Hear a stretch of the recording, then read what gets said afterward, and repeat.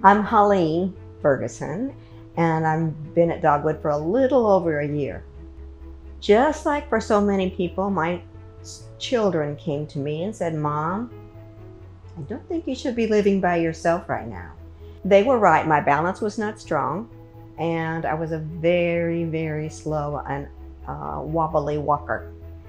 So um, I, I agreed that we, we could look, and they did the research for me. They went to different places and thought that Dogwood would be a good place because it was so open and, you know, fresh and made them feel good. So they invited me to come and look through it. And I've been very pleased here. I think, I think the environment is really um, open. They're, the hallways are open. You don't feel like you're in a, a squashed kind of living. It's nice that you can sit with friends in the hall and get out of the room. You're not totally confined in there. So those are some things that I liked about it.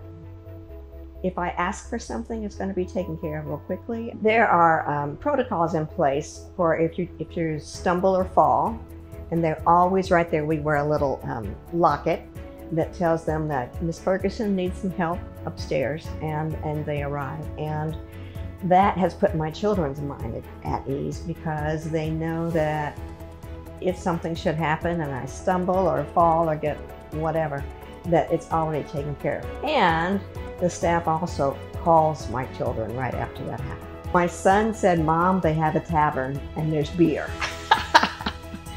so I knew right away he'd be coming to visit because he's, you know, he's a very responsible drinker, but it delights him that he can have a beer in the middle of the day sometimes.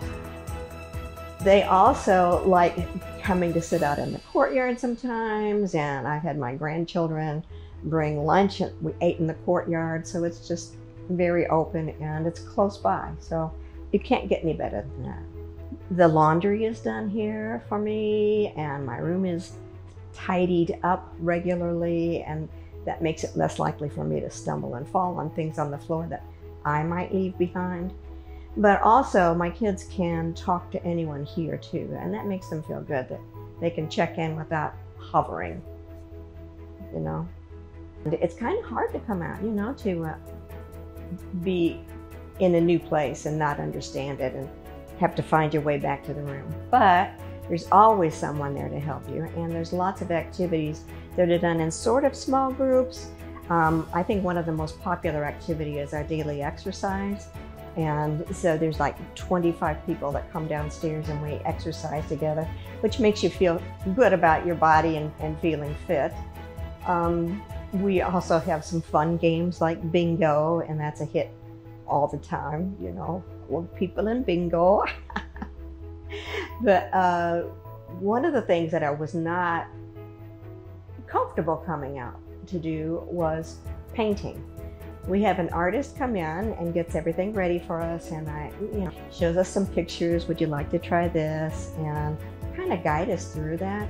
So that's that's kind of fun and relaxing and makes you feel good about yourself. Well, I'm going to um, also mention that about 10 years ago, my husband had early onset dementia, so I was looking for a place for him. And that was a difficult time because I knew he wouldn't be comfortable because of the dementia. Um, but I knew that there were people that involved him in activities that he did enjoy doing. And I think that's important. Safety is a main concern, and I'm sure that he was safe, and I feel very safe here. So that's important too. Let me go back to the beginning and just say that when, I, when my children said it's time to find a place you can't live alone, I was very much against it. And I think almost everyone who was here had those same feelings. So when they did some research for me and when I came out, it was nice that I felt comfortable and that I knew that my family would be close by. So that was pretty important too. And they had activities they knew I would like. The, the courtyard is lovely, sitting outside, and the balconies that we have outside our room, that's lovely too. So you're feeling inside and outside at the same time. It's open and it feels good.